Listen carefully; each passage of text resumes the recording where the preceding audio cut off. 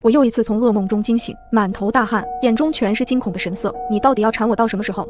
我有些崩溃的自言自语。此刻的我脸色苍白，长期的睡眠不好，黑眼圈更是严重。随后我有些颤抖的站起来，一步一步的向浴室走去。我决定先洗一个澡，清醒一下。根据以往的经验，我知道自己短时间是没法再睡得着了。三年了，整整毕业三年了，我还是时不时重复着做这样一个恐怖的梦。在梦中，我一个人在宿舍里看着电脑，突然之间，同宿舍的于小神突然给我发了一个链接，并留言道：“看看这个视频，这个视频跟你有缘。”我的手好像不受自己控制一样，虽然我不想打开这个莫名其妙的链接，可是手指却不受控制的点开了它。随即，链接里的视频内容展现在我的眼前。视频里也是一个人在宿舍里，只不过他是在做复习，正在笔记本上写着什么。在他写满一页纸，翻来下一页的时候，突然整个人僵住了，眼中露出了几分惊恐的神色。只见这一页原本空白的纸上面，突然出现了一行字：“他来了。”他呼吸骤然急促起来，有些慌乱地回头四处打量着宿舍里的一切。走到宿舍门前，打开门，宿舍的走廊里空无一人。走廊的两端因为没有灯，就如两个空洞的黑洞，里面好像随时会走出什么恐怖的东西。他连忙关上门，反锁上。他又走回自己的座位，刚坐下，他瞳孔一缩，就好像见到了什么不可思议的东西一样，整个人腾一下站了起来。只见那页纸上又多了一行字：听说鬼不会弯腰，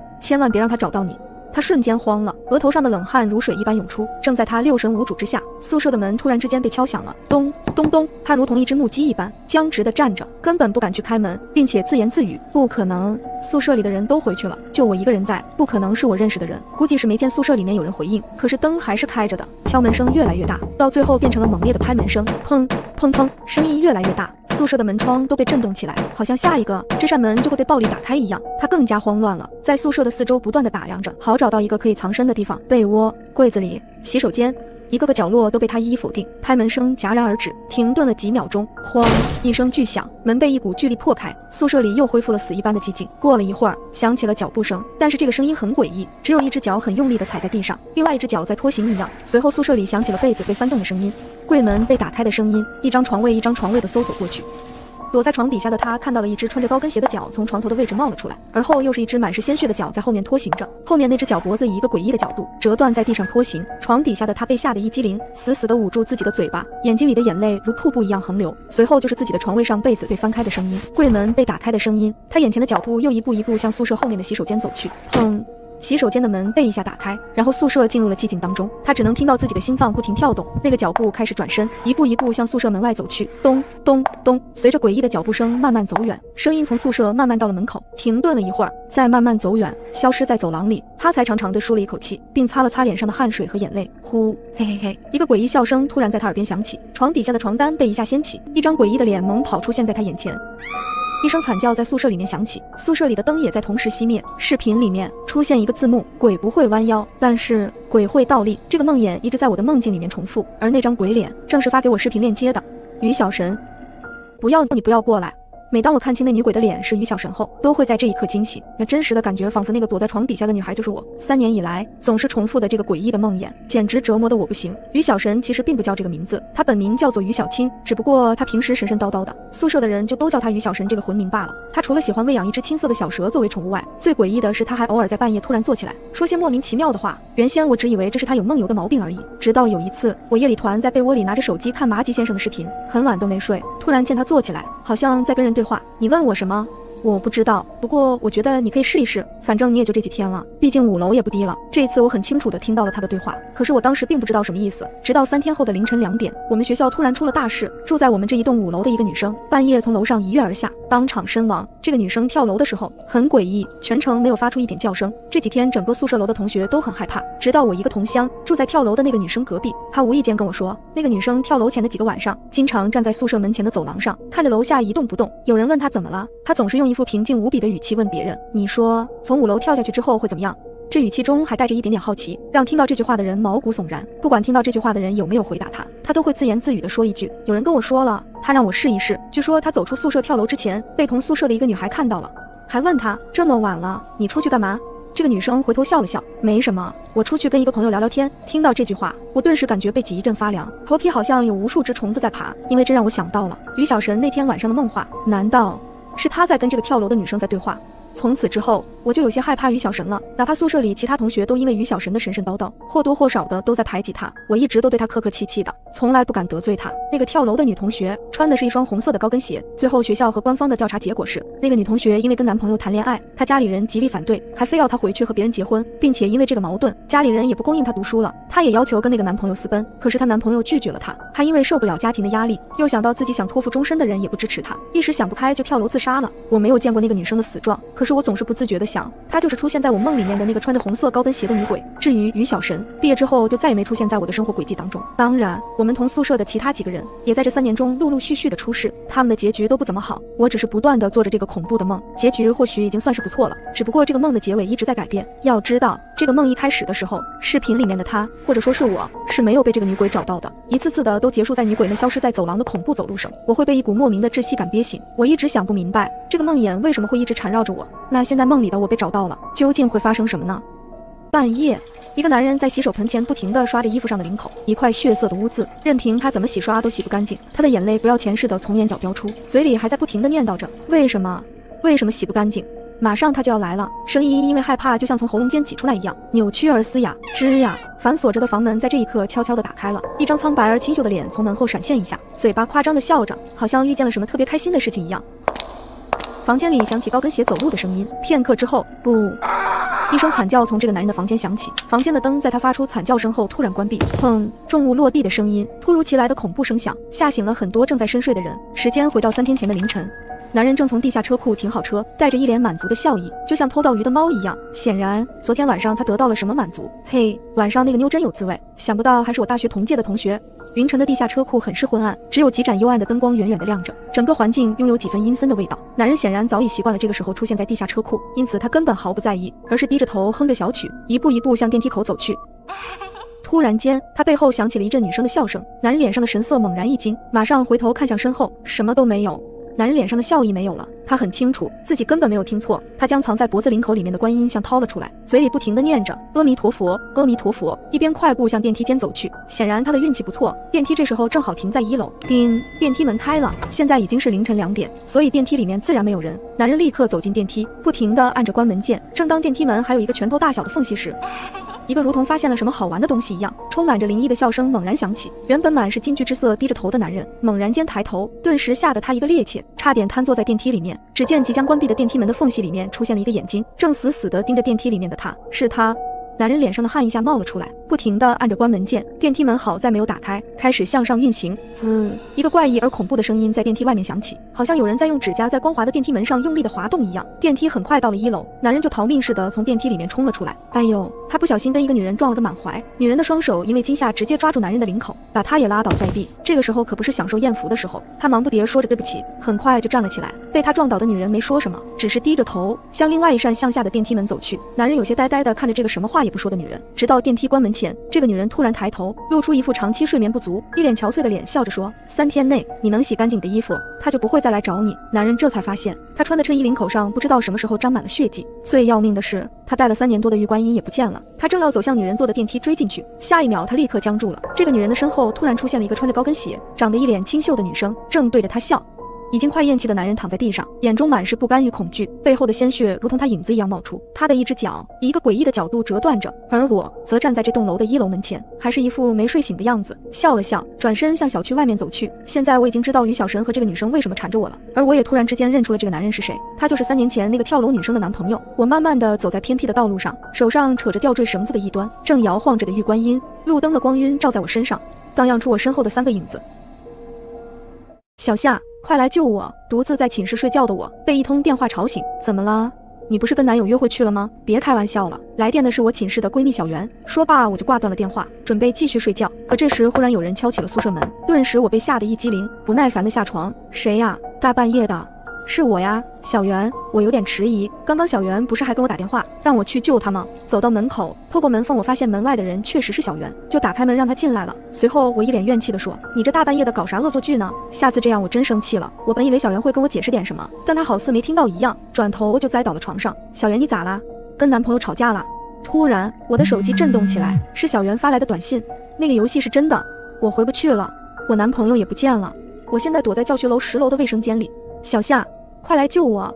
看完短信，我瞬间打了个冷战。短信里小袁说他在教学楼卫生间。那此刻躺在床上的是谁？我转头看向床上的小袁，他现在整个人蜷缩在被窝里，根本看不到脸，而且一动不动，很是诡异。我越想越害怕，往旁边退了两步。为了验证哪个是真的小袁，我决定拨通小袁的电话。只听到电话那头语气很焦急：“小夏，这次真的不是开玩笑，我没骗你，我躲在厕所里，不信我给你拍照看下。”没过一会儿，我收到了小袁的照片，照片里的小袁确实在厕所里，并且眼神惊恐无助。我咽了口口水，直到这时，我才确定了这不是恶作剧。相对于床上躺着的小袁，我更加相信电话里的才是真的小袁。于是我轻手轻脚地往门口走去。正当我准备开门时，身后突然传来一个诡异的声音：“你要去哪？”我惊恐地回过头，只见床上的那个小袁不知什么时候已经站了起来，面带诡异的笑，一步一步地朝我走来。顿时我吓得惊慌失措，眼看他逐渐向我逼近，终于我猛地一下将门拽开，逃出来后，我迅速藏在了楼梯的拐角。惶恐地往后张望，结果等了一会儿也没见到那个假的小袁出来。我没敢再回寝室。为了搞明白这件事，我决定先去教学楼找到真正的小袁。按照短信里的内容，我来到了教学楼十楼的卫生间。刚走进去，就看到窗口处有一个黑色的身影。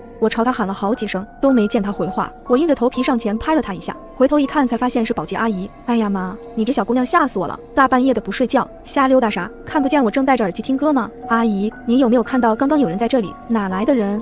我自己在这待了好久了，我半信半疑地检查了一下每个坑位，发现里面确实都没有人。顿时我就纳闷了，难不成他躲到男厕所了？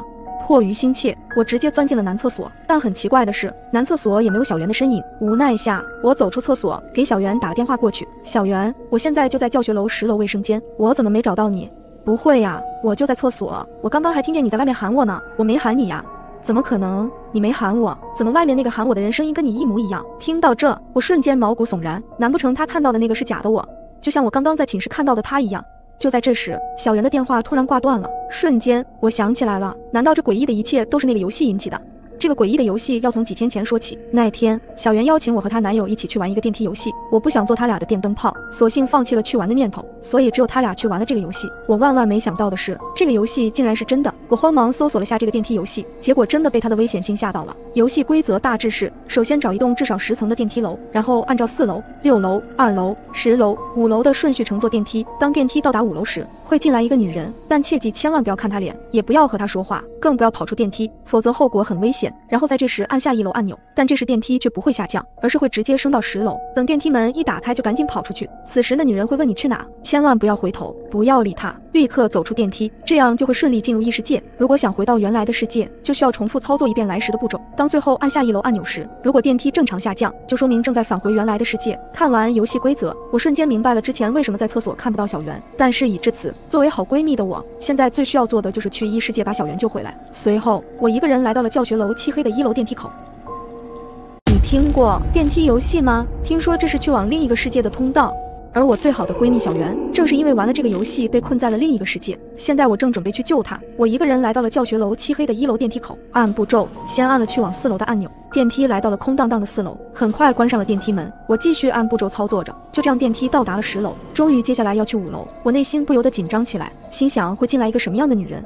随着“叮”的一声，电梯到达了五楼。只见门缓缓打开，等了好久也没见人进来，我下意识就对这个游戏的真实性产生了质疑，心里默念着对小袁的歉意。就这样，电梯门缓缓关上了。可就在电梯门即将关上的那一刹那，突然一只惨白的手从外面伸了进来，死死抓住电梯门。我顿时被这眼前的一幕吓得双腿发软。随着那手的阻挡，电梯门也缓缓打开。我慌忙把头低了下去，半眯着眼，只见走进来的那女人身穿连衣裙，且有着一双惨白的腿。随即，那女人忽然问了句：“你要去哪？”刚准备回话的我，突然想起了帖子的内容，千万不要和她说话。我始终保持着沉默。可就这时，她忽然朝我走了过来，渐渐地跟我挨在了一块。好奇的我极度想看下她要干嘛，就不由自主地睁开了眼睛。此时我才看到她的脸庞完全被长发遮住，就像电影里的贞子，搭配昏暗的电梯灯光，那氛围恐怖极了。突然我想到了帖子的内容，就吓得赶紧又闭上眼睛，心想接下来肯定要完了。但奇怪的是，时间一分一秒的过去，没见那女人攻击我，也没有听见她的声音。就这样，我慢慢的移动到了电梯按钮处，按了一楼，电梯开始往上升了。按帖子里的说法，此刻我正在进入异世界。终于，电梯升到了十楼。还没等电梯门完全打开，我就早已做好了逃跑的准备。可我刚迈出电梯一步，一只冰冷的手搭在了我肩膀上。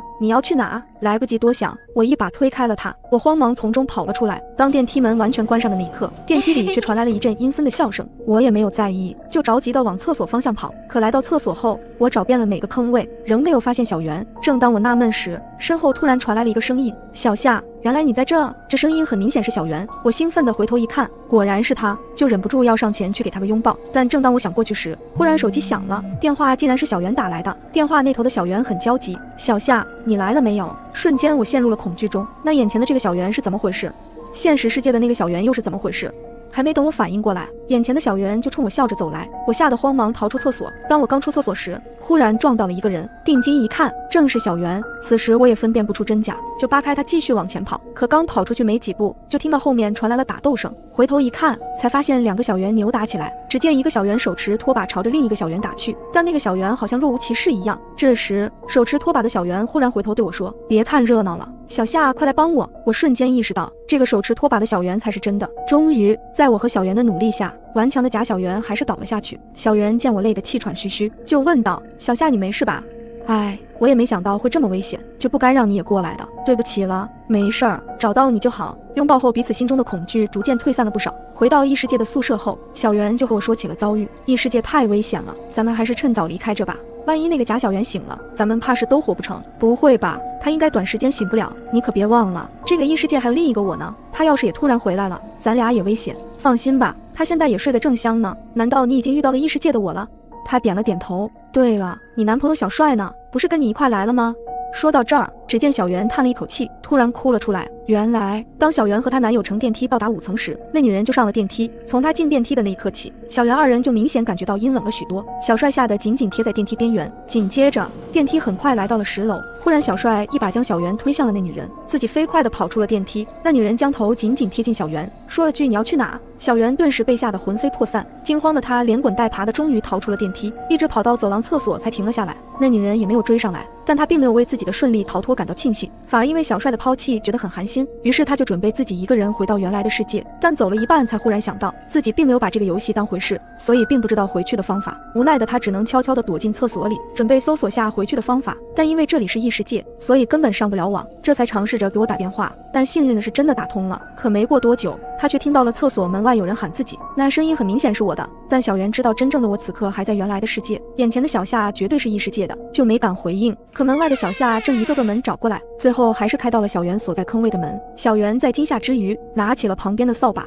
经过一番激烈搏斗后，贾小夏倒了下去。为防止被异世界其他人发现，小袁就拖着贾小夏藏在了楼道。恰巧给我打电话的时候，听到厕所的声音，再然后就碰到了我。听完事情的来龙去脉，随后我俩便来到了电梯口，准备回到原来的世界。按照帖子上的方法，我们按步骤操作着。可当经过八楼时，却从电梯外传来了吼叫声。那声音很明显是异世界的贾小夏发出的。看来他醒了。当电梯来到十楼后，门刚一打开，突然就进来了一个人。这人正是小帅。小圆见后顿时一惊，正想。说话却忽然把脸转过去，但眼前的小帅却甚是狼狈。可能小圆出于怜悯，竟然走了过去安慰起小帅。可小帅突然惊恐地盯着电梯门，慌忙说：“快快关上电梯！”我就赶紧关上了电梯门，接着来到了五楼，心想着终于又到了惊心动魄的时刻。随着电梯门的打开，我们心跳不断加快。我再三嘱咐小圆他们，电梯开门后千万不要看那女人，更不要和她说话。但电梯门开后，等了些许还没见有人上来。我就慌忙按起了关门按钮，但此时门好似失灵了。我努力地按着，但门仍然没关。就在这时，门外忽然吹来了一阵冷风，我们猛地一哆嗦。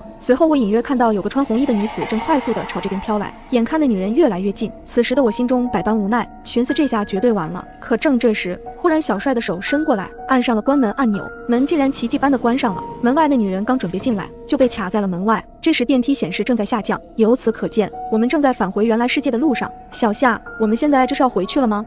应该是。你们记住，等到了一楼电梯门打开时，咱们要立马就冲出去，千万别停留。终于门开了，我们有惊无险的回到了现实世界。只是让我不理解的是，小圆最后还是和小帅和好了，但我总觉得哪里不对劲。邻居阳了后故意对着我家门把手咳嗽，我把他的所作所为发到公寓群里，大家都在骂他们一家。当晚。他们儿子死了，邻居要让我偿命。小磊，助手提醒你，门外有人停留。我拿起手机，调出门上的监控视频，隔壁的女人立在我家门前。她见左右无人，扯开口罩，对着我的门把手咳嗽了好几下，然后心满意足的离开了。我头发都要立起来了，立刻把这段视频转发到公益群。四二五住户，我记得你阳了有三天了吧？你干的是人事吗？你知道恶意传播传染病是犯法的吗？微信名为李梅红的账号发了一长串语音，声音尖锐，用词粗俗不堪。你他妈的凭什么拍我？你他妈侵犯我肖像权了，知道吗？祝我对门的邻居说话了，四二五，你这种行为影响的是整个四楼人的身体健康。李梅红的丈夫刘涛跳了出来，你们咳嗽能忍住啊？你们以为自己是谁呀？连别人咳嗽都要管，大号感冒而已，看你们那怕的死样，厉害就搬出去住，搬到高级小区住。他还嬉皮笑脸的说，早养早好，我们这是在帮你们。这一家子都不是什么善茬，他们还有个小孩，白天在家里打篮球，往墙上钉钉子。深夜动不动就尖叫，还会用竹竿挑女邻居挂在阳台上的贴身衣。每次上门提醒，李梅红和刘涛都是同一副嘴脸。小孩子天性好动不是很正常吗？嫌吵，嫌吵住高档小区去啊，那里隔音好。哦，忘了你没钱，没钱你可以去卖呀。我们也报过警，但在警察面前，他们就会装出一副老实样。警察一走，他们就原形毕露，不仅变本加厉的制造噪音，还让他们小孩往周围人门口撒尿拉屎。平日里，周围邻居都已经受尽他们的折磨，这次的事件完全点燃了他们的怒火。我对门四幺四的中年男人，我看你们一家才应该滚出去。三二五，毒瘤，一家子都恶心到极点了。刘涛怒不可遏，老子明天就挨家挨户吐痰去。我们家阳了，你们也都别想好过。随之而来的是隔壁小孩尖利的叫声，他一边叫一边拍篮球，好似恶魔。我正戴着耳塞睡觉，听到了隔壁又传来小孩尖利的哭声，然后是通通的撞头声，男人女人的和小孩的哭声混合在一起，很吵闹。有一瞬间，我恨不得拿把刀把他们一家都杀了。我的耳塞质量很好，消减了大部分噪音，能让我勉强睡着。他们夫妻俩也并不和谐，刘涛没什么本事，还很爱在外面沾花惹草，听说还传了病给李梅红。他们俩晚上吵架打架也是常事。第二天凌晨，我是被破门的巨大响声惊醒，一看手机，才凌晨四点。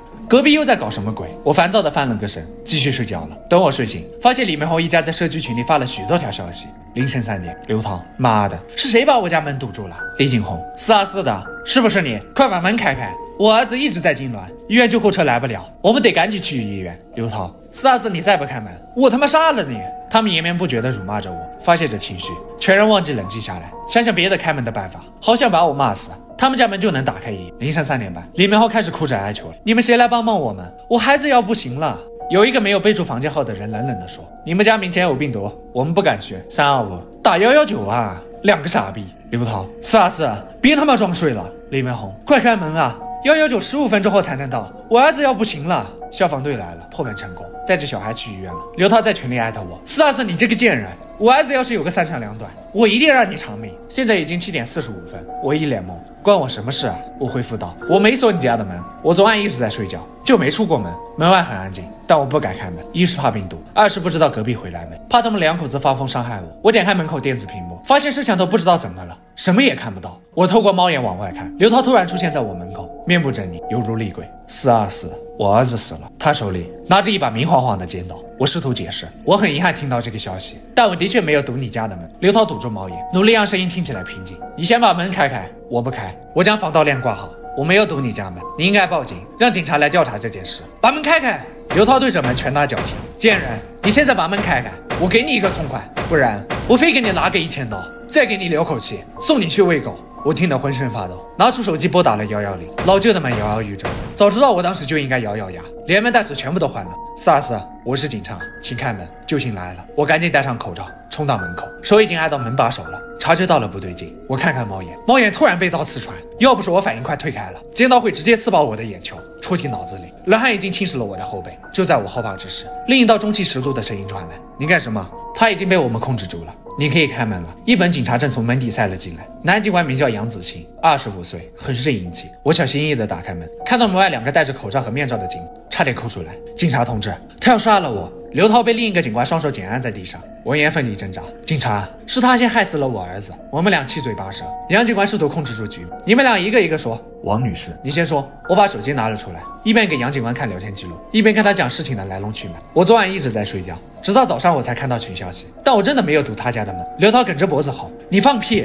你就是因为我老婆冲着你家门咳嗽，记恨我们，所以才半夜反锁了我家的门。杨警官带着一次性手大的手滑动我的手机屏幕，对昨晚楼里的纷争有了大概的了解。待刘涛说完，他蹲下身看了看四二五的门，门确实被反锁了。听刘涛说，钥匙都打不开，是消防员把门撞开了。杨警官看到了我的电子门锁，你的门锁有摄像头吗？有，但它好像坏了，一片漆黑。我转过头，发现摄像头上贴着一截黑纸，刚想撕下来。被杨警官拦住了，不能破坏现场。我讪讪地收回了手。走廊里的监控也早就坏了。刘涛又开始挣扎了，目眦欲裂，恨不得跳起来把我撕了。警察，这张纸肯定就是他贴的，他就是杀人凶手。杨警官皱眉，把他铐上。刘涛觉得自己受到了莫大的不公正，他才是杀人凶手，你们应该铐他啊！放开我，我知道了，你们跟他是一伙的，你们两个都被他收买了。杨警官无视刘涛的发电，义正言辞：你们两个都给我回警局。刘涛被靠在副驾驶座位上，我和杨警官坐在后座。我的手机震了一下，失足社区群里有人发消息了。杨警官道：“打开。”所以四二五，你们孩子怎么样了？四一四回答道：“似乎是没了。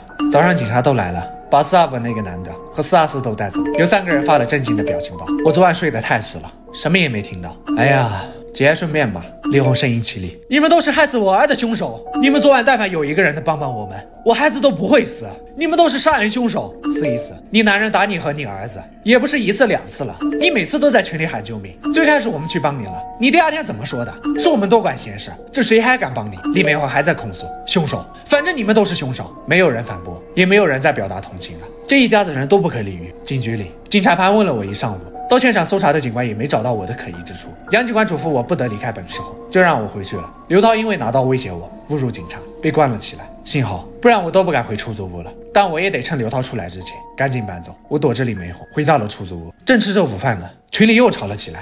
幺幺五，大家都不要开门。四二五那女的正在挨家挨户吐口水啊，有病吧？真没有素质。四二五，你现在知道为什么昨晚没人帮你加了吗？你再这样做，我们就报警了。李美红，你们都是凶手，还是那个没有被煮的人？呵呵，你男人不是说只是大号感冒吗？真是刀子不落在自己身上，不觉得疼。谁都不是凶手，你们儿子就是被你们害死的。这人还配了一个捂嘴笑的表情。李美红在群里破口大骂，其他人也看不下去了。兄弟，你这话就有点过了，要尊重死者。哼，一群圣母进群都要改备注的，你为什么不改？那人干脆利落的改了个备注：五二六的你父亲。这个人有点可疑。杨警官没收了刘涛的手机，应该也能看见群消息。李梅红，五二六，我今晚就让你去陪我儿子。五二六，我可不下地狱。我皱皱眉，这人嘴也太毒了吧。第二天，公寓群又炸了，有人发了一张血淋淋的照片。五二六的房门大开，男人倒在血泊之中，已经死去多时。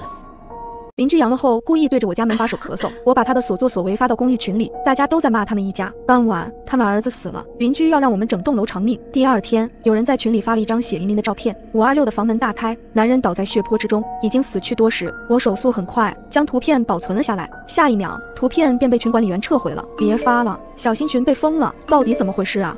我记得五一三是个女生，她情绪已经崩溃了。我早上上班，一打开门就看到她死了，我该怎么办啊？我不会被当成杀人凶手吧？先报警，呜呜，已经报过了。他家没锁门吗？门大开着，不会，真的是四二五的人干的吧？这种事情没有人敢妄下结论。见没人回复，二零五默默把消息撤回了。刘涛还在警局里，难道是李梅红干的？我的侦探魂熊熊燃烧，真想冲上去看看，可我怕病毒。有人感叹道：“哎，这楼里越来越不太平了，我已经想搬走了。”我心道：“俺已经刷了一晚上租房软件了。”警察来了，我观察着现场照片，照片是目击者从自己房间门口拍的，死者面朝房间内侧，面部朝下，应该是被人从背后偷袭。图片有点模糊，看不清伤口到底在哪儿，肯定不在背上，难道是脖子？我脑子里浮现两个词：熟人作案，一击毙命。所以凶手应该不是李梅红，两个人跟仇人一样。五二六的男的不会和和气气的请他进屋，更不会把后背交给他。没过多久，听到有人敲门，王女士，我是杨子欣，估计是来问我话的。他们站在门外，我们可以进去问你几个问题吗？在争取他们同意后，我给他们消毒，并让他们进来。杨警官打开了黑色皮的笔记本，开始询问我：你认识住在五二六的人吗？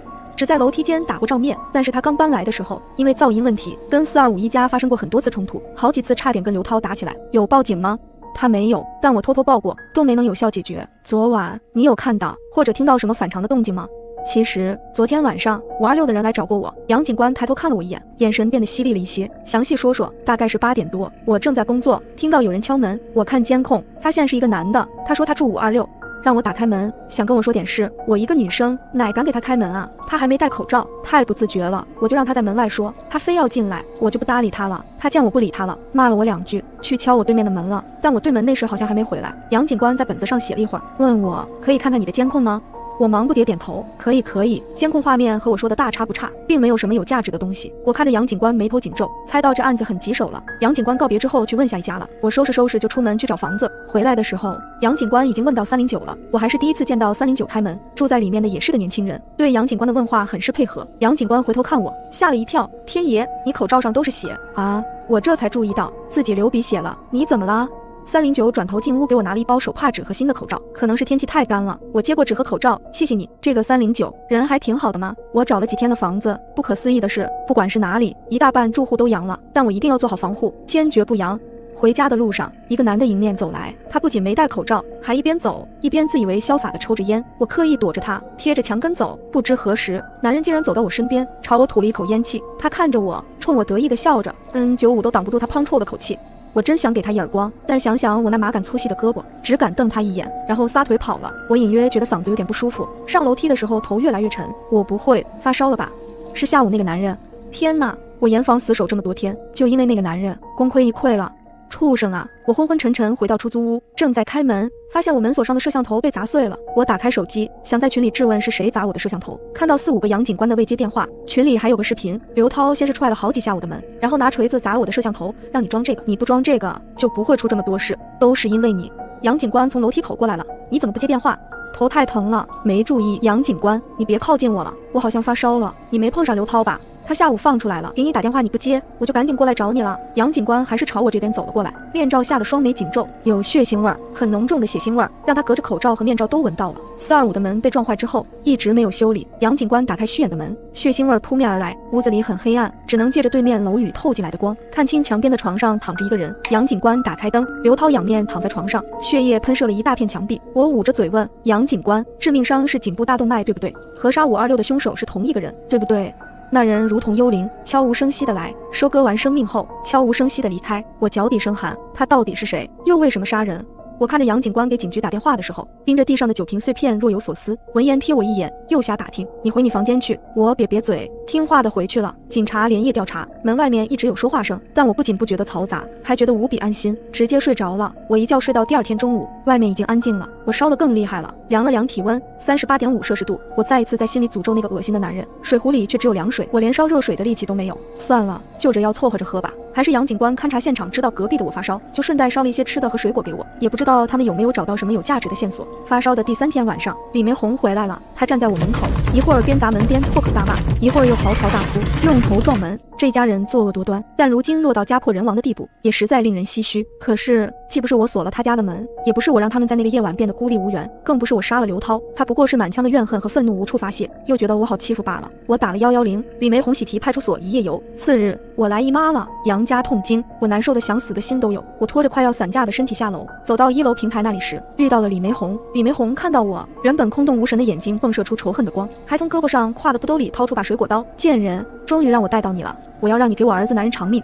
我转身往楼上跑，也就跑了十几个台阶，我就不行了，喉咙和肺像破风箱，呼啦啦的响。紧挨着楼梯的三零九打开了门，我来不及思考，冲了进去，关上房门。李梅红在外面砸门，三零九正要出门，看到我闯进来，有些惊讶。我背靠着门，不停咳嗽，他后退几步，警惕地看着我：“你阳了。”我终于缓过来了，缩在角落。我是四二四的，对不起，我没有办法，有人追杀我，我跑不动了，才进到你房间的。我拿出随身携带的消毒水，喷洒了一圈，真的对不起。三零九看我的眼神突然无比阴冷，让我觉得他比屋外的李梅红还要危险。他的一只手背到了身后，你阳了，为什么还进别人家？你是要把病毒传染给我吗？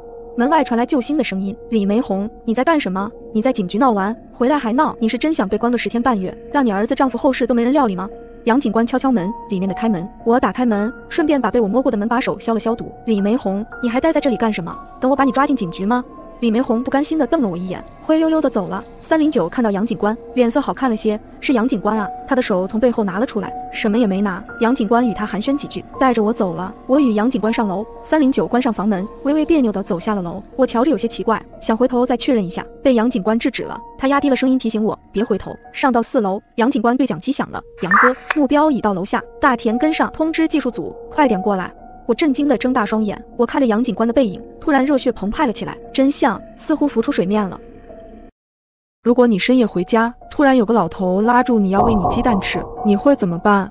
第一次遇到这种情况，是我搬到这个小区的第三天，看着老旧的楼梯和斑驳的墙壁，我安慰着自己，一个人住在哪都一样，况且这能省下不小的花销呢。这天下了夜班的我刚踏入小区，那周围一瞬的寂静。以及若有若无的路灯，不免让我心里发毛。没办法，我只能哼着歌给自己壮胆，脚下的步子也加快了起来。走到楼下的我总算松了一口气，伸手擦下额头冷汗，用力的咳嗽了一声。可惜声控灯没有亮，我再次尝试了一下，结果还是一样的。不会吧，这也是坏的？我有些绝望地看着漆黑的楼道，身上的汗毛不自然地竖了起来。我纠结了一阵，还是鼓起勇气，借着手机的光亮，一步步走上楼梯。刚走几步，就闻到楼梯间弥漫着一股菜香味，这让本来饥肠辘辘的我口水都要流下来了。就在我回味时，突然一只手抓住了我衣角，我下意识地想到了不干净的东西，再也抑制不住心里的恐惧，放声尖叫，瞬间后退了好几步，企图挣脱那个东西。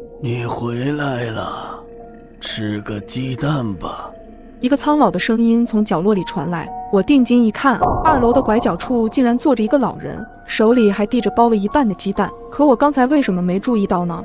爷爷吓到你了，啊，对不起呀。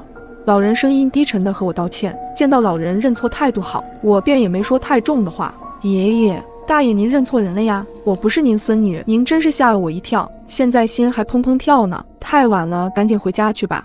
不是我孙女儿，那我孙女儿呢？她还没放学吗？我看着眼前一脸无辜的老人，意识到他可能是阿尔茨海默症。大爷，您住在几楼啊？我我就住三楼。老人指了指楼上。大爷，我就住您楼上。现在太晚了，我送您回去吧。只见老人摆了摆手，不用了，我还要等我孙女呢。你要吃个鸡蛋吗？老人笑眯眯地再次举起手中的鸡蛋，我还是婉拒了老人，转身回了家。因为工作太忙，我转头就把这件事情忘掉了。隔天下夜班后走进小区时，才又想起了楼道没灯这件事。更意外的是，今天的楼道竟然是亮的。这个世上真的有雷锋。刚从二楼往上走时，我下意识地望向拐角，老人真的坐在那里，手里依旧握着一颗鸡蛋。他听到我的脚步声，微眯的眼睛猛地睁开来，昏黄的灯光下。是一张皱纹纵横、面色无暗的脸，他的嘴巴咧了咧，露出黄牙，冲着我笑。一种莫名的恐慌涌上我的心头，我下意识的后退了两个楼梯。你回来了，今天不黑了吧？吃个鸡蛋吧。大爷，您又认错了，我不是您孙女。大爷，这灯是您安的？我意外的问。老人点了点头，一脸傲娇，甚至还有些害羞。您老可真棒。我冲他竖起了大拇指。不过，下次登高的事情还是让年轻人来做吧，毕竟您岁数大了。我身子骨硬朗得很。老人从椅子上一下子站起来，速度特别快，我生怕他一个不留意扭到了腰。我看着老人，总觉得哪里不太对。可是，一天的疲惫让我来不及多想，匆匆回家休息。很快就迎来我的第三次夜班，因为贪凉的关系，我的胃开始不停的折腾。回家走到二楼转角时，冷汗已经把我的衣服打透了。姑娘，你是不是哪儿不舒服？我两只手捂着胃，早就疼得说不出话来，眼前一黑，晕了过去。等我醒来时，人已经躺在医院的病房里，老人早就不见了踪影。桌上只有两颗水煮蛋。护士送我的大爷在门口吗？我问巡房的护士。护士意味深长地看了我一眼，从上衣口袋里掏出一个体温计给我。你只是肠胃炎，并没有发烧。隔天出院后，我想着去感谢一下大爷，但敲了许久的门也没有人应声。难道是出门锻炼了？想着晚上他应该还会坐在楼梯口，便先回了家。可到了晚上，我再次下楼，却发现那个拐角只有一把凳子，但不见大爷。想了想，我再次去敲了他家的门，可房门始终没人开。我担心大爷身体有个好歹，就给物业打了电话，希望工作人员可以来看下情况。你确定是这家？物业经理看了看三楼斑驳的房门，表情怪异地看着我。我点了点头，把自己的经历简单叙述给他听。你确定自己没记错？物业经理的表情变得扭曲，说话声音有些颤抖。可三零一早就不住人了呀。这家原先是有个老爷子，还是老年痴呆，但是他已经去世四年多了。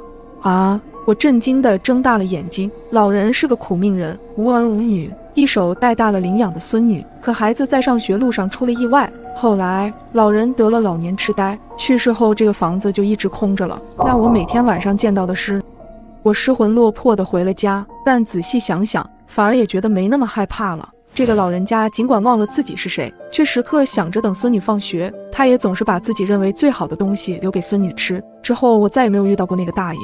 我猜他和孙女应该再次相遇了吧？他牵着孙女的手送她上学，孙女手里高高举着大爷包好的鸡蛋。如果你家的密码锁总是被两个熊孩子滴滴按个不停，你会怎么办？刚到家的我突然听见门口有按密码的声音，透过猫眼。我看到一只圆圆的眼球在猫眼的另一边滴溜溜转动，几乎同时，一声小孩子的尖利的笑声响起。姐姐姐姐，我看到你了，你家密码多少？今天下班早，我抓紧包包，做贼一样飞快上楼。心里不由想起，这几天总有两个小孩在消防大门蹲着等我下班。之前我担心他们家长找不到他们，就没有邀请他们进屋玩。两个人就蹲在我家门口，畏畏缩缩，不知道在干嘛。看见我家门口没有小孩，我长出了一口气。谁家的熊孩子不用上学的吗？成天跟人家门口蹲着。我麻溜的输入密码进入家门。刚放下包，水都没来得及喝一口，就听见门口有输密码的声音。等我走到门口时，六位的密码已经输完三位。本想直接打开门，但鬼使神差，我看向猫眼。通过猫眼，我看到一只圆圆的眼球在猫眼的另一边滴溜溜转动。几乎同时，一声小孩子的尖利的笑声响起：“姐姐姐姐，我看到你了。”我被眼球吓得不敢动弹。小男孩的笑声更让我半边身子都麻了。密码还在输入，他们按下最后一个按键，密码错误。男孩叹了口气，他又在输入密码。我哆嗦着打开手机，我家的密码是可以在手机上设置的。我立马把密码改成系统随机。我的手机上显示，他们第一次输入的密码其实是正确的，只是少了个井号。最后那位多输入了一次，而男孩输入的第二次密码与我家密码完全相同。我瘫软在地，他们怎么知道我的密码的？一道甜腻的女孩声音响起：“姐姐，你家密码多少？”我回过神来，这个女孩比小男孩大一些。从前几次见面来看，她心智成熟，似乎很聪明。我开口：“你们想干嘛？”女孩凑在门缝上说：“我想上厕所。楼下物业办公室有厕所，你自己坐电梯到负一楼去。”我翻找手机里物业电话，通过物业一定能找到这两熊孩子的父母。姐姐，我不想上厕所了。你们家有没有不要的瓶瓶罐罐？女孩的声音静得像是在我耳边低语，我感到被蛇爬过的恶心与难受。我打通物业电话，让他们上楼一趟。在等待的时候，门外悄然无声。我试探着从猫眼里观望，门外空空荡荡，估计是听到电话，怕被喊家长，所以跑了。想到两个孩子鬼鬼祟祟的模样，我猜他们根本就不是在玩耍。分明是盯梢，门再次被敲响。我打开门，门口站着三个穿黑色保安制服的人。我简单把事情描述一遍。你是说，你这几天都看到那两个小孩在你门口玩耍？一道好听到可以去当声优的嗓音响起。我顺着声音看过去，黑色鸭舌帽下一双眼睛黑得像是能把人魂魄给吸进去。我呆愣一瞬。啊，对他们经常在我门口玩游戏，玩游戏。他重复了一遍，嘴角无意间勾起一个酒窝，短暂的出现又消失。旁边一个四十岁的保安用手按嘴咳嗽了一下，随即向我说道：“这样吧，蒋小姐，你跟我们下去看下监控吧。”我是边套，正对着这一层上下楼梯的消防通道。我们小区物业管理的不错，每层的消防通道里和外各有一个监控，黑白录像一帧一帧闪动。时间。七月七日，两个小孩在消防通道爬楼梯，一层一层的往上走，最后在我的楼层停住了。他们对了下眼神，缩在角落里往外盯着某个东西。门口录像显示，这时我正好从电梯里出来，从包里翻找什么东西，根本没注意到一米之隔的消防门内有两双眼正注视着自己。时间七月八日，两个小孩提前十几分钟就在消防门口蹲着，看着我从电梯里出来。见我快要走到他们面前，便用手捂住眼睛，从指缝里窥视。这是我第一次真正意义上见到他们。在我输密码时，他们迈着滑稽可笑的步子离我越来越近。而此时的我，开门关门，门关上的刹那，他们的脸上浮现出现一种中年油腻男人的可惜与冷漠嘴脸，似乎在说到嘴的鸭子飞走了。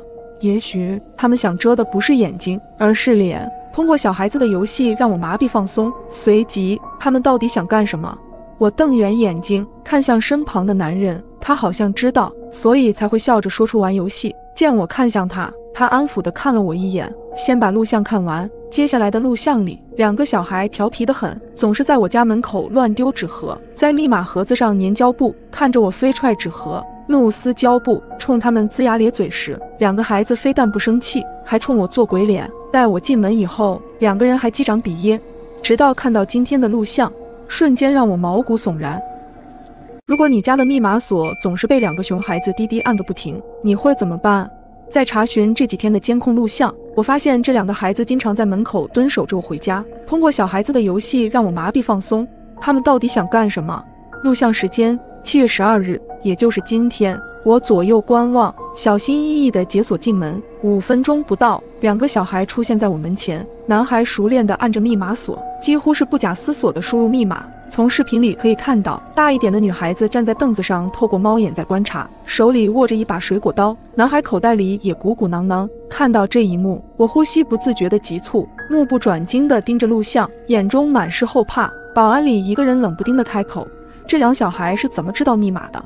年纪大一点的保安在一旁操作电脑，放大画面，示意我们看向走廊的窗户，那上面映出一双睁大的眼睛。你开门的时候，他们就在盯着你输入密码。之前他们故意在你门口设各种陷阱，就是为了窃取你家的密码。他怎么做到的？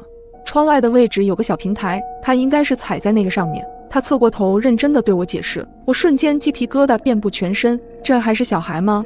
看完全部的录像，我害怕到不敢踏出监控室的门口。那两道如影随形的眼睛似乎就在外面等着我。我不敢细想，他们要是进了我家门之后会发生什么。我叫明成，我送你回去吧。那个保安小哥说道。就在我们刚走进楼道时，突然听到轰隆一声，身后好似有重物坠落。我刚想回头看，一双手捂住我的眼睛，别看了，先回去。我虽然应和着，可空气中弥漫着一股甜腥气，还是被我鼻子捕捉到了。转而我们进入了电梯，明成按了八楼的按键，便掏出手机快速的打字，好像在给谁发着消息。我们从电梯走出后，明成的眼神停顿了几秒，我顺着他的目光望去。我家门口画着一辆格子公交车，蓝色粉笔画出大致的轮廓，旁边用红色黏腻液体画了三个歪歪扭扭的字“捉迷藏”，上面有很明显小孩的脚印，一个大，一个小。那两个小孩还在这，我瞬间心惊胆战起来。别紧张，没事儿。明成话还没说完。就听到他对讲机里传来了声音：“三壮有人跳楼了，似乎是从八楼跳下来的，是一名女生。”对讲机滋滋的声音传来：“我这栋楼不就是三壮吗？那八楼……”我想起刚才楼下重物坠落的声音，我突然意识到了什么。正在我思索时，隔壁邻居的门突然开了，两个小孩从里面走出来，似乎没预料到我们俩在这里，笑意僵硬挂在脸上。男孩子手上拎着一个黑色的包，没等我反应过来。明成瞬间冲上去控制住了他们，在他们想从包里掏出什么之前，死死捏住了他们的手。叔叔，你干嘛？你捏疼我了！小女孩眼巴巴地瞪着明成，随即又看向了我，眼角带上眼泪。姐姐，姐姐，你让叔叔放开我吧。他拽得我好疼！我刚想开口说些什么，明成转头过来，严肃地对我说了一句：“别听他们说的，我刚刚已经报警了。我注意他们很久了，他们根本不是什么普通的小孩子。这也是我第一次仔细地观察他俩。凑近之后才发现，小孩的脸并不似正常孩子那种光滑水嫩，脸上甚至有点沟壑。”本市新闻播报：七月十二日十七时许，马吉小区发生一起女性坠楼事件。经警方调查后发现。这是一起人为的入室抢劫凶杀案，凶手为一男一女两名成年侏儒症患者，他们凭借身体的优势骗取同情，进而实施作案。在这里提醒广大人民提高警惕，注意安全。我坐在电视机前看着昨天的新闻报道，有种恍然如梦的感觉。后来的事情还是明成告诉我的。那两个假小孩因为身体的问题，找工作时处处碰壁，生活里也常被别人瞧不起。渐渐的，他们的心理发生了变化。仇视比他们健全的正常人，为了生存下去，把自己假扮成小孩子，在附近小区踩点，打着捉迷藏、玩游戏的幌子，让人放松了警惕，便开始作案。他们在我这里没能得手，就把目标对准了我隔壁的姑娘。她出差刚回来，当小女孩提出姐姐，我想上厕所。隔壁的姑娘心善，让他们进屋子了。女生最初并没有太在意，直到发现他们偷偷翻找自己的东西，三个人才争吵起来。他们担心事情就此败露，索性将女生扔到了楼下，活活摔死。当明成把这些事情说给我听时，我震惊不已。原来同情心真的也能害死人。如果半夜你听到室友的呼救，你会继续装睡还是醒来帮他？我的宿舍是八人寝，那天只有我和叶子两个人在寝室。由于天气太热又没空调，在睡觉前我就把窗户打开了。可没想到晚上发生的事情，至今让我心有余悸。睡得半梦半醒之间，我突然有种莫名不安的感觉，就像有人在一直盯着我看。我瞬间就惊醒了，透过蚊帐观察了一下，直到我视线扫过床尾方向的时候，突然发现那边有一块暗影。开始我以为是谁挂在那边的衣服，但我又仔细回想了下，床头那片根本就没放东西。这个想法让我顿时渗出了冷汗，而就在这时，我听到了一个离我很近的呼吸声，声音粗重有力。就在我怀疑是不是自己听错的时候，我清晰的听见了叶子在自己床铺上翻身的声音，而我正盯着的那个黑影居然动了。只见他缓缓移动到我的床边，此时我终于看清楚了，那是一个男人的身影，他应该是站在我床头，一直盯着我看。我吓得一动不敢动。虽然是夏天，但我从头到脚都凉透了，我整个人也都吓傻了。两个弱女子的宿舍进来了一个男的，我身边就一个关机了的手机，能用来干嘛？从我醒来到发现对方，我足足盯着他看了将近一分钟。我不确定他到底有没有发现我醒了，他究竟是怎么进来的？我确认睡觉前反锁了房门，难道是窗户？可这里是二楼啊！想到这，我顿时肠子都悔青了。僵持间，我看着他缓慢地走到我床边的桌子上，拿起我放在那边的一些钱，清点了起来。我微微松了口气，他应该是没发现我醒了。我一边盯着他，一边思考着对策。首先，我手机关机，求救的话要先开手机，但开机后会有声音，绝对会被发现。不行。接着，我又想着要不要开门向其他宿舍求救，但我从床铺到大门有好几米远。门还是反锁的，中间耗时太长，万一男人随身带了什么武器，还是不行。也完全没有想过一个人单挑制服对方，我也肯定打不过。叶子还在睡觉，也帮不上忙，没办法，只能走一步看一步了。但我在害怕的时候会不自控的微微发抖，咽口水。我一边努力控制住生理反应，一边观察对方的动作。他一直在翻动着什么东西。过了好一会儿，就在我觉得自己浑身都僵了的时候，他的身影消失在我的视野范围内，脚步声依旧在宿舍内徘徊，伴随着轻微翻找东西的声音。这些声音刺激着我的耳朵，告诉我对方一直在。因为怕被他发现我醒着，也不敢转头去看那人现在在哪。不知道过了多久。声音突然全部消失了，整个宿舍一片寂静，只有叶子翻身的声音偶尔传来。他是不是走了？我鼓起勇气，轻轻转头观察着宿舍。突然，我在叶子的床边又看到了他，他直挺挺地站在那里，一动不动。刚刚想放下的心又提起来。叶子的惨叫声传来，我心里顿时咯噔了一下。趁着室友的声音，我立马爬起身，将手机开机，用着发抖的声音冲他喊：“叶子，你怎么了？有人摸我。”他的声音带着哭腔。此时我的手机已经开机了，打开灯光照向叶子的方向，就发现那个男的依旧直直的站在他床边，有可能被他的叫声吓到了。当时我也特别害怕，也完全想不到趁这个时间拿东西自卫什么的，脑袋都是空的，只想让他赶紧走，于是直接就对着那个男的大喊：“你是谁？快走！”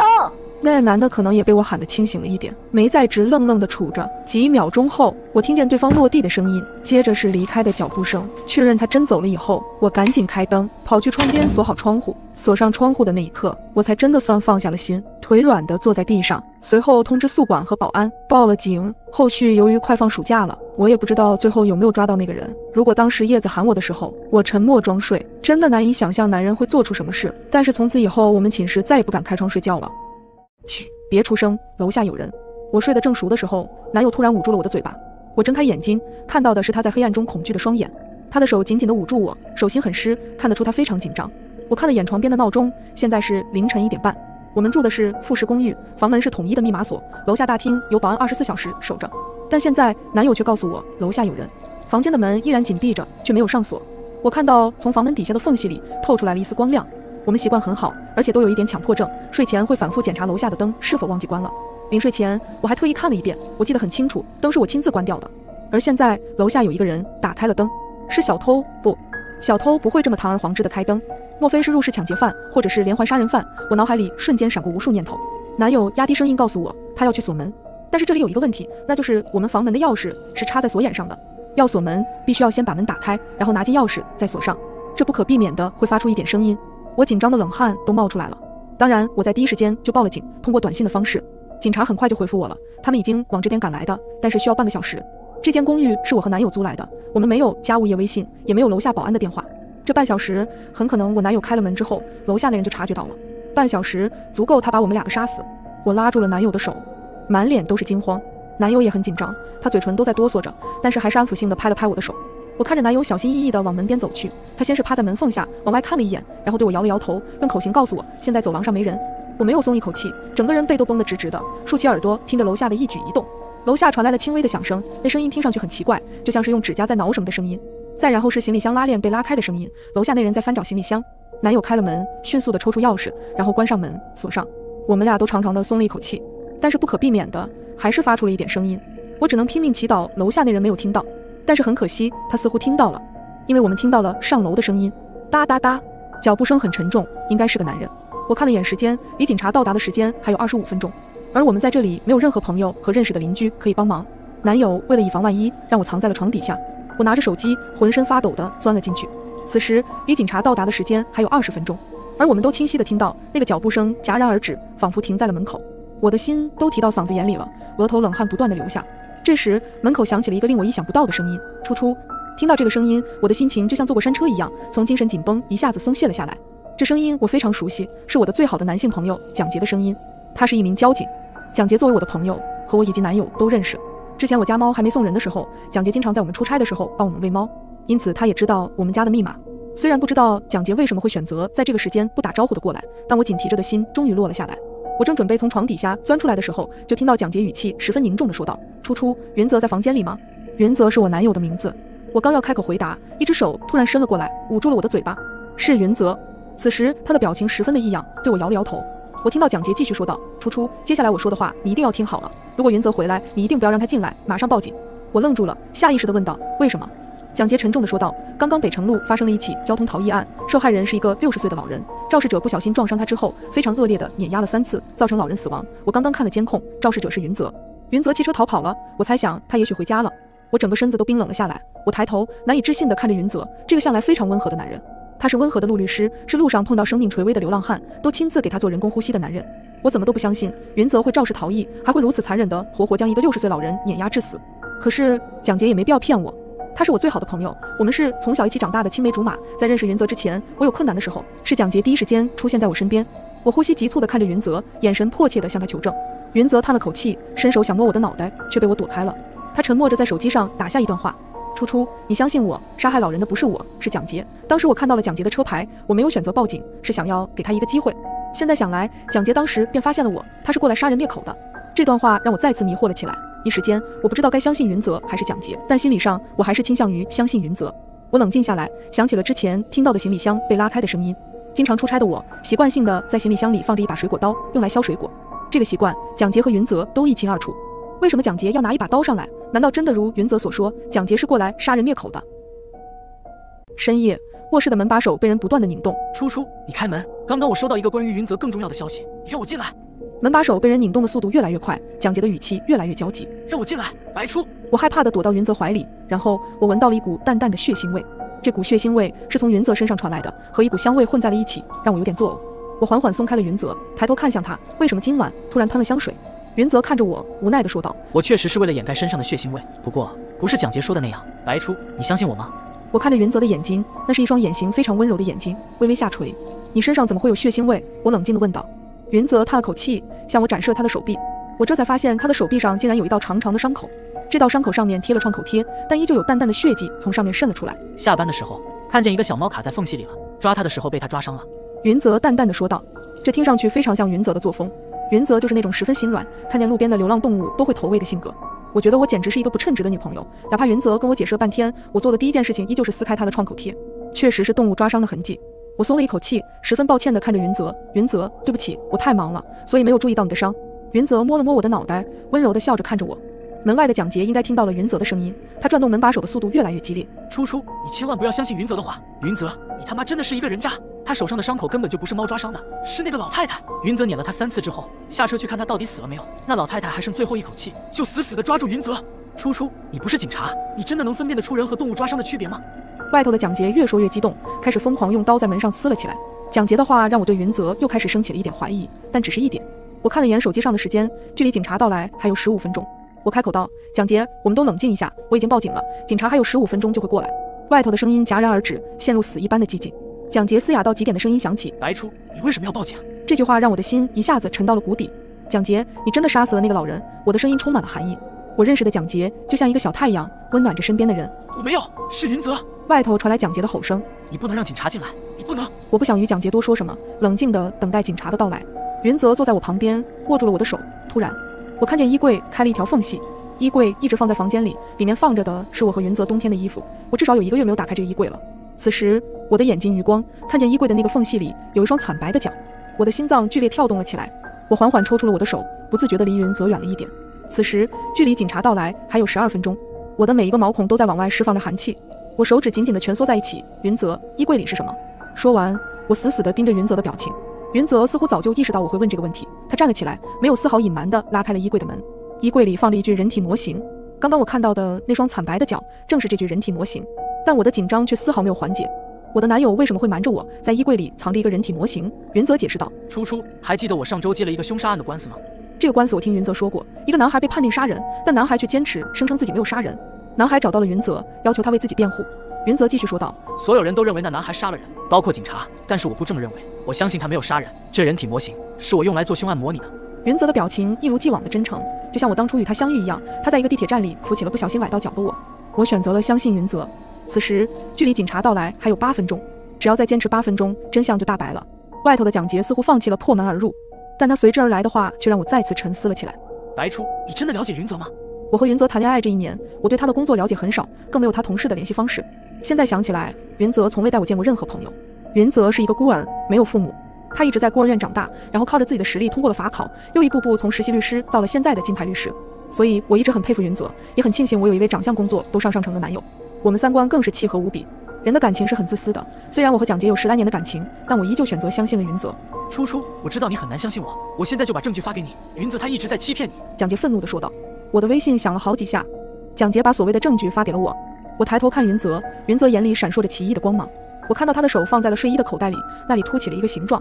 我的嘴唇哆嗦了几下，脚步缓缓地朝着门边靠近。我一边注视云泽的举动，一边看了眼微信。